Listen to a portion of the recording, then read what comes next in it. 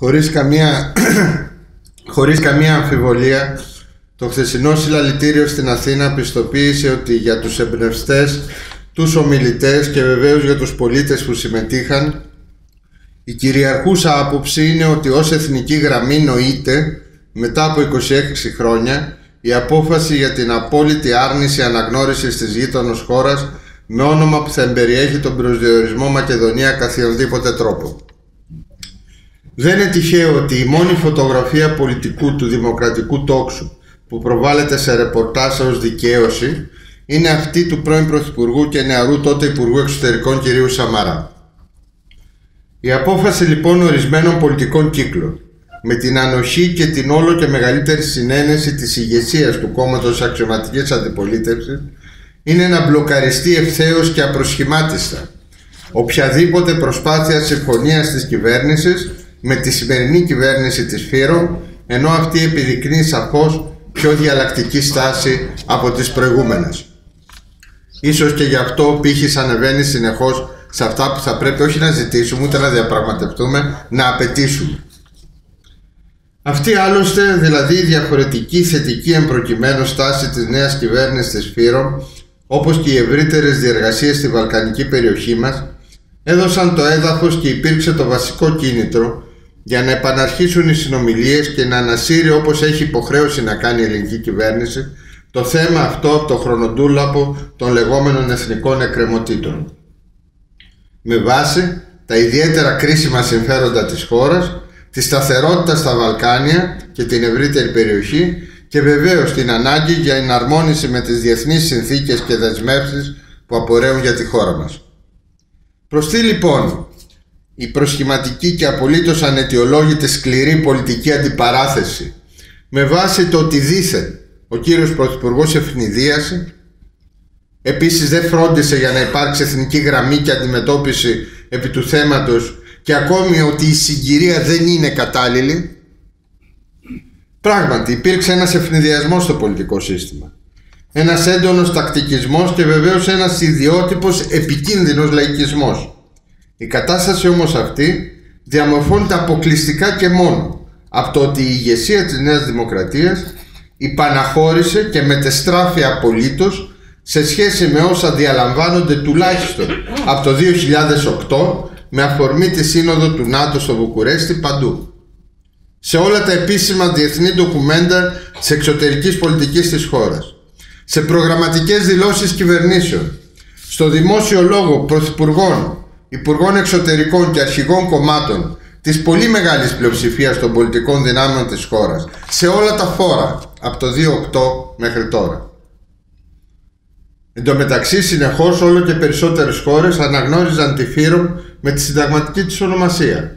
Αυτή είναι η πραγματικότητα και η κάθετη άρνησή της δημιουργεί πραγματικά πολύ μεγάλο πρόβλημα αφαιρεγγιότητας για όσους την επιχειρούν και αδυνατίζει εν τέλει τη διπλωματική και τη διαπραγματευτική θέση της χώρας. Άκουγα σήμερα το πρωί ο αντιπρόεδρος της κυβέρνησης έλεγε για κάποια σωστά πράγματα που είπε ο συνάδελφος ο Νίκος ο Φίλης για την αναγνώριση της σλαβομακεδονικής γλώσσας κτλ. Ότι με αυτά που λέτε δίνετε ως επιχειρήματα στους ε, αντιπάλους μας, στους αντίθετους εν ώψη και ενώ γίνεται η διαπραγμάτευση. Με συγχωρείτε, με τα προηγούμενα η μία αναγνώριση της πραγματικότητας έτσι όπως επί 10 χρόνια σε όλα τα χώρα έχει εκτεθεί από όλες τις κυβερνήσεις. Τι παράδειγμα άραγε και τι όπλα δίνουμε σε αυτούς με τους οποίους τώρα γίνεται η διαπραγμάτευση. Είναι υποχρεωμένη η αξιωματική αντιπολίτευση να τεκμηριώσει υπεύθυνα ποια και πότε θα είναι η άλλη, δηλαδή η ευνοϊκή συγκυρία για την επίλυση αυτού του μείζωνος θέματος. Είναι υποχρεωμένη δηλαδή να πει ανοιχτά αν εννοεί ότι θα αλλάξει σε ευνοϊκή η συγκυρία όταν, όπως έχει δικαίωμα να προσδοκάει η ηγεσία της, αναλάβει αυτή τη διακυβέρνηση της χώρας. Φοβάμαι πως έτσι σκέφτονται. Αυτό εννοούν περί πιο ευνοϊκής συγκυρίας, διότι ακόμα πιο ε, ευνοϊκή κυβέρνηση και προοδευτικού προσανατολισμού στη γειτονική φύρο δεν προβλέπεται με όσα γνωρίζουμε μέχρι τώρα. Άλλωστε κάτι τέτοιο σημαίνει ότι αυτό εννοούν και η χθεσινή εκτίμηση ότι δήθεν ο λαός δεν εμπιστεύεται για διαπραγμάτευση στο σημερινό Πρωθυπουργό και τον Υπουργό Εξωτερικών. Προσχήματα εν αμαρτίες. Απίστευτος, επικίνδυνος τακτικισμός για ένα τόσο σοβαρό εθνικό ζήτημα. Ήδη έχουν περάσει δύο εβδομάδες από τότε που η ηγεσία της αξιωματικής αντιπολίτευσης έχει κάνει αυτή την ολοκληρωτική μεταστροφή επί της ουσίας του ζητήματος καθώς πλέον αναφέρεται προχθές σε αποφάσεις που έχουν ληφθεί από το 92 μέχρι σήμερα. Πηγαίνει δηλαδή ο πύχης πια στην απόφαση του 92 της σύσκεψης των αρχηγών. Πρόκειται για ομολογία ότι στο όνομα της τακτικής σύμπλευσης και ομογενοποίησης με ό,τι οπισθοδρομικό και ακροδεξιό κινείται στην ελληνική κοινωνία και την πολιτική ζωή μπαίνουν σε δεύτερη και τρίτη μοίρα τα πραγματικά εθνικά συμφέροντα ο ρόλος της χώρας μας ως πόλου σταθερότητας στην περιοχή, η τήρηση των διεθνών υποχρεώσεων. Με πλήρη επαναλαμβάνω αγνόηση τόσο της πραγματικότητας σε διεθνή κλίμακα για τη Φύρο, όσο και των δεσμεύσεων της χώρας για αναζήτηση κοινά αποδεκτής λύσης, διότι υπάρχουν τέτοιες δεσμεύσεις από ενδιάμεσες συμφωνίες.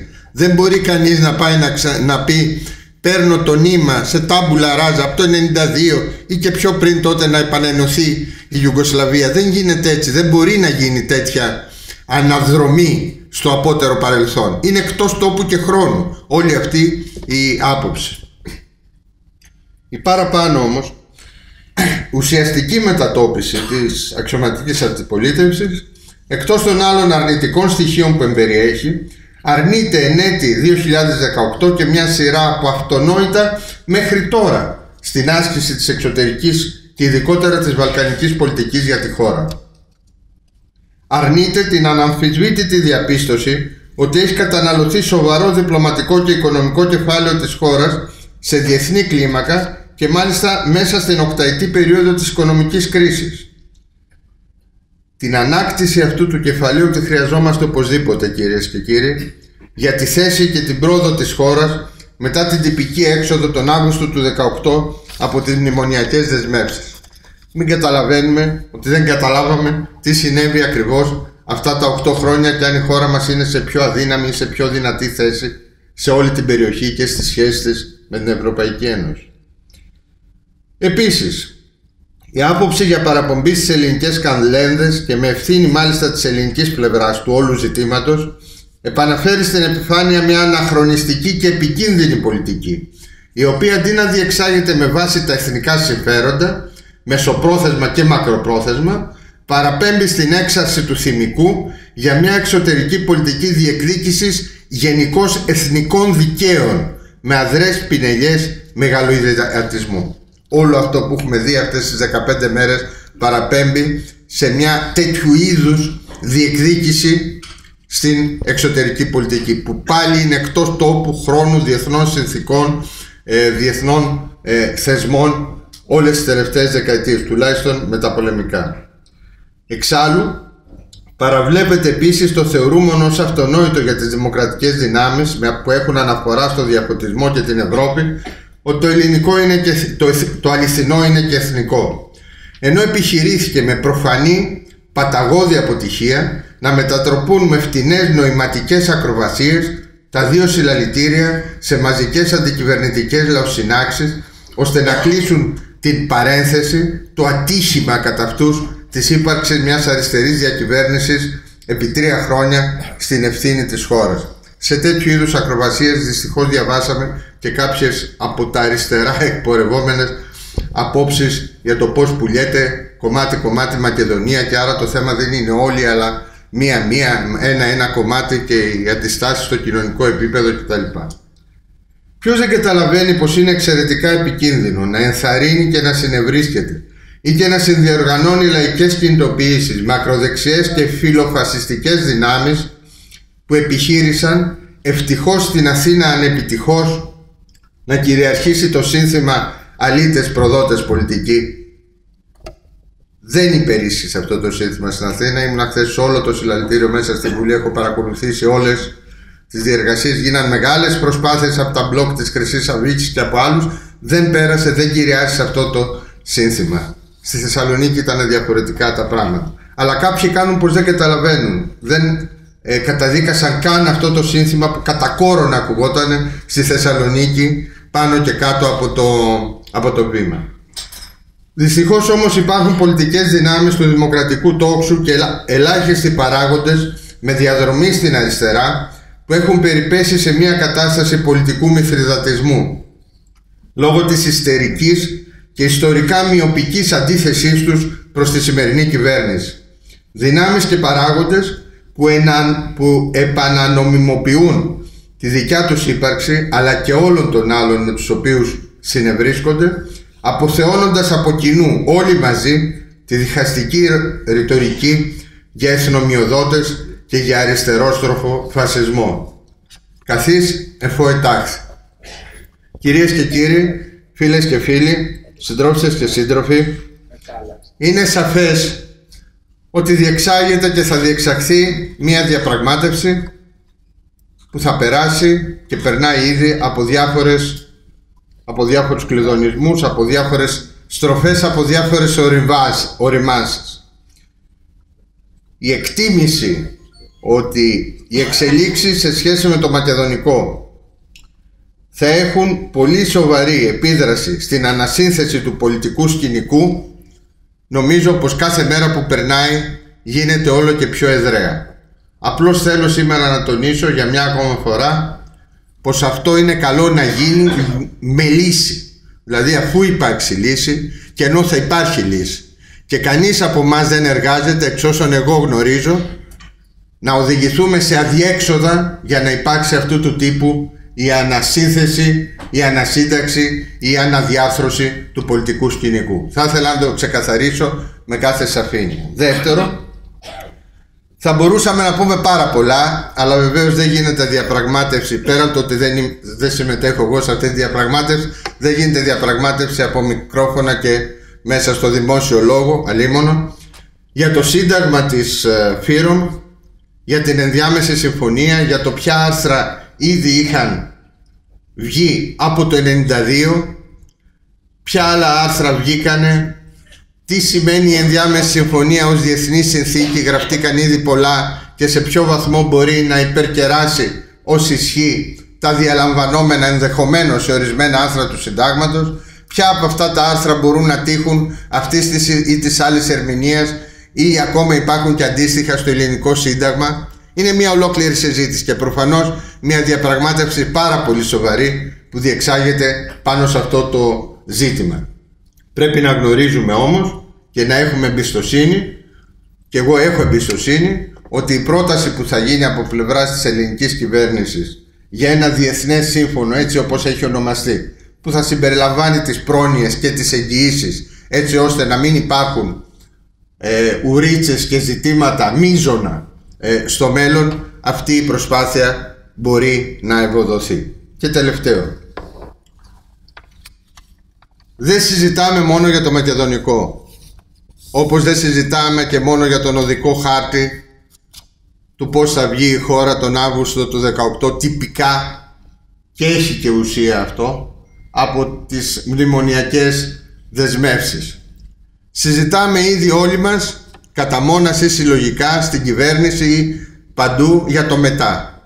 Για το μετά της χώρας μας, για το μετά του λαού μας, για το μετά από αυτό το όριο της οκταετούς απίστευτα μακράς περίοδου την οποία περάσαμε και περνάει η ελληνική κοινωνία.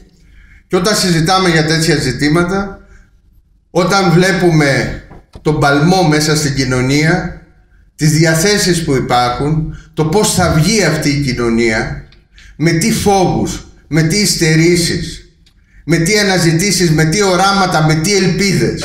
Είμαστε υποχρεωμένοι όλοι, όλες οι πολιτικές δυνάμεις, αλλά και καθένας από εμάς να έχουμε μία ενόραση λίγο πιο μπροστά, πέραν από τα επίδικα της κάθε περίοδου και να συνδέουμε κατά τρόπο παιδαγωγικό, πολιτικό, με ιστορική διάσταση την επίλυση κάθε ζητήματος με αυτό το μετά.